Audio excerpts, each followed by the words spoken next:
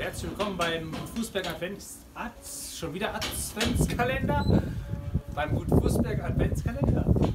Ähm, ja, ich bin gerade im Kuhstall und wollte euch zwei, drei Sätze zu den Kühen erzählen. Und zwar hier im Hintergrund seht ihr die Erika, die mit den äh, roten Flecken. Und äh, das ist die Tochter, gar nicht wahr, das ist nicht die Tochter, sondern es ist die Kuh meiner Tochter. Ja? Also die, die wäre eigentlich schon gar nicht mehr hier, ähm, wenn meine Tochter die nicht so lieb gewonnen hätte. Und ähm, ja, mittlerweile habe ich sie auch lieb gewonnen und äh, ist ein ganz netter Charakter. Aber ähm, wir haben natürlich auch andere coole Charaktere und ich wollte euch mal gerade sagen, warum unsere Kühe teilweise Hörner haben und teilweise nicht. Vor einigen Jahren haben wir aufgehört mit den Horn und die, die Hörner, da ist Leben drin und ich sag mal, es ist natürlich immer mit Schmerz verbunden für die Tiere, das mit dem Enthorn, auch wenn betäubt wird. Ja? Also es ist auch ein viel diskutiertes Thema und für mich ist es jetzt aber so, ich möchte keine behornten Tiere mehr haben, aber auch nicht enthornen. Ja, also was tun? Ja? Also ich habe jetzt zum Beispiel hier die schwarze hier, das ist unsere zahme, unsere zahmste Kuh. Ähm, und die hat keine Hörner und die wurden nicht ausgebrannt. Und das hat damit zu tun, das ist eine Galloway-Kuh. Galloway ist äh, so, eine, so eine kleine, kompakte Rasse und die haben von Natur aus keine Hörner. Ja, deswegen muss ich die nicht enthornen. Jetzt, äh, wir haben ja so eine ganz bunte Kuhmischung. Das seht ihr schon im Hintergrund. Ähm, ganz viele Farben gemischt. Das hat damit zu tun, wir haben halt immer verschiedene Rassen eingekreuzt. Ähm, wir haben erst Milchkühe gehabt, die habe ich gekauft. Und dann haben wir äh, Limousinen drauf getan und auf diese Töchter dann Blond Aquitaine und der Bulle war rein erblich hornlos. Das heißt, ich habe bis auf paar Prozent äh, keine Kälber mehr. Ja? Und äh, das war für mich wichtig, weil mein Opa ist äh, fast mal ums Leben gekommen, weil in einer Attacke von einem Bullen und äh, auf der Weide, also es, bevor jetzt die Argumente kommen, ja, im Stall und so, auf der Weide und ist fast ums Leben gekommen dabei und ähm, hätte dieser Bulle Hörner gehabt, wäre er definitiv nicht mehr hier heute. Und ähm, Stand heute ist er 83 Grad geworden und quietschfidel und tingelt hier im Winter bei 8 Grad rum und baut mir gerade meine, ähm, meinen Frostschutz fürs Wasser am Hühnerstall. Also ähm, und mir ist das halt ganz wichtig. Ich habe auch schon ein, zwei Erfahrungen gehabt mit Tieren. Gerade wenn man jetzt im Winter sieht, im Stall, da ist es schon mal eng oder man muss zwischen den Tieren herlaufen. Und es muss von der Kuh nicht mal böswillig sein, aber wenn ich jetzt hier äh, eine behornte Kuh habe und die schlägt richtig aus, die sind so lang, die Hörner auf beiden Seiten und die, die erschreckt sich von mir aus und die schlägt aus, ich sag mal, die schwerst verletzen. Und wenn sie keine Hörner hat, dann habe ich zumindest eine gute Chance, es zu überleben. Und ich habe auch schon mal einen auf den Deckel bekommen. Ähm, und deswegen haben wir uns halt dafür, entschieden, dass äh, wir keine behornten Tiere möchten.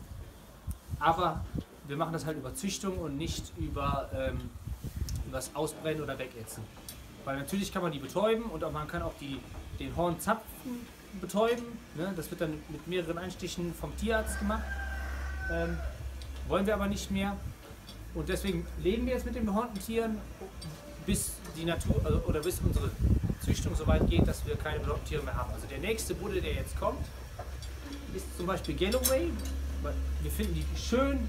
Ähm, wir haben keine intensive Rinderhaltung. Also ihr seht, die, die fressen zum Beispiel nur Heu und Gras. Ja? Also die kriegen auch kein Silo mehr. Hatten wir bis vor zwei, drei Jahren, aber die, äh, die Fleischqualität soll wesentlich besser sein, wenn man nur Heu und nur Gras füttert. Und ähm, mir gefällt das auch sehr gut, weil man, ja, es, ist, es riecht quasi immer im, wie im Kräutergarten hier im Stall. Hier, ihr seht die Erika. Bin, das ist auch schön, dass sie jetzt gekommen ist, ne? Hier hinter mir. Und das ist von der Erika die Tochter, die, äh, die hat noch keinen Namen. Also die heißt, die hat noch keinen Namen. ja. Und jetzt, hier sieht man was Schönes für alle, die keine Kühe kennen. Also Kühe haben vier Mägen und äh, sind sogenannte Wiederkäuer. Das heißt, die, die, die fressen jetzt zum Beispiel ihr Heu, speicheln das ein und dann schlucken die das runter und im Laufe des Tages würgen die das wieder hoch und kauen wieder. Und das macht die Erika gerade. Die hat, die, die hat jetzt was hochgewirkt aus ihrem Pansen, also aus dem ersten Magen und äh, kaut jetzt wieder. Und dann schluckt die das wieder ab. Klingt eklig, aber das ist bei Wiederkäuern so. Also Wiederkäuer sind zum Beispiel, äh, auch Ziegen sind Wiederkäuer. Ist eine nette. Also ich bin froh, dass wir sie noch haben. Aber hier sieht man auch schön die Hörner, was ich eben gesagt habe. Ähm, wenn jetzt die Erika sich erschreckt und die haut mir einen in die Brust, dann ist auch ganz schnell Ende aus Mickey Mouse, weil die hat äh, 750 Kilo, auch Praktikanten und so weiter und so fort. Und deswegen haben wir uns einfach gegen die Hörner entschieden. Und es ist ja züchterisch möglich und deswegen ähm, meine Lieblingskuh zum Beispiel auch eine Galloway, die ist jetzt gerade nicht im Bild, ist die Anna. Und ähm, ja, das gefällt mir einfach sehr gut. Hatte. Oh, und die sieht, hier sieht man diese langen Hörner.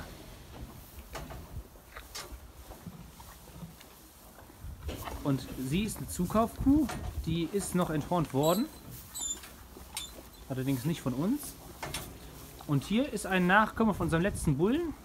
Und die ist rein erbig hornlos, oder beziehungsweise genetisch hornlos. Und hier sieht man das Paradebeispiel daneben. Das ist ein 20% Tier, das heißt, ist vom gleichen Vater wie sie, hat aber Hörner. Aber wir züchten das einfach langsam raus dann müssen wir niemand mehr enthornen. Wo wir schon mal hier sind, ich zeige euch mal gerade die Anna, meine Lieblingskuh. Oder es sind ja alle lieb, ne? Guten Tag, das ist die Anna. Und die Anna ist eine super Kuh. Die ist auch äh, hornlos von Natur aus. Und die kriegt jeden Tag, äh, nicht jeden Tag, jedes Jahr ein Kälbchen. Ja, das ist die Paula. Die Paula ist auch Fernsehstar. Die gibt es eine Doku auf unserem YouTube-Kanal. Könnt ihr mal gucken. Und da kommt die Paula vor. Aber ich möchte noch zwei, drei Sachen sagen ähm, zum Stall. Der ist ja komplett offen, luftig. Das heißt, die Kühe, die, ähm, ja, die kriegen auch Zug mit. Aber das, also hier ist eine ganz gute Luft, weil es ja quasi wie draußen ist. Die Kühe brauchen nur ein Dach, die frieren auch nicht. Also bis minus 15 Grad ist es überhaupt kein Problem und die Temperaturen haben wir eigentlich nie.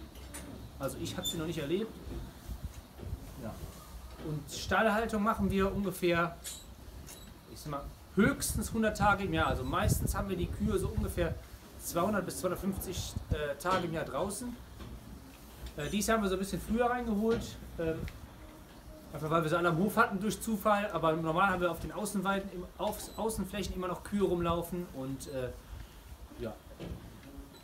Und die fressen jetzt hier Heu und äh, liegen auf Stroh. Beziehungsweise habe ich schon mal so kompostartiges Zeug, was wir einmischen. Das sieht dann immer ein bisschen brauner aus, ist aber auch trocken. Und wir, wir streuen zum Beispiel zwei bis dreimal die Woche ein.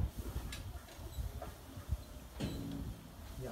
Und ich würde sagen, ich höre jetzt mal auf mit meinem Adventskalender. Ähm, mit dem Türchen. Und wir sehen uns morgen wieder. Ich freue mich ganz doll, dass du dabei gewesen bist. Und ähm, wenn du noch mehr über die Rinder wissen willst oder über die anderen Tiere, dann äh, guck unter dem Video, findest du unsere Webseite und ähm, ja, besuch uns gerne im Hofladen. Wir haben morgen wieder geöffnet von 10 bis 18 Uhr und äh, vor Weihnachten gibt es jetzt natürlich auch wieder Frischfleisch und so. Also es lohnt sich auf jeden Fall zu kommen. Und äh, ansonsten abonnieren, teilen. Danke, dass du dabei warst. Bis morgen.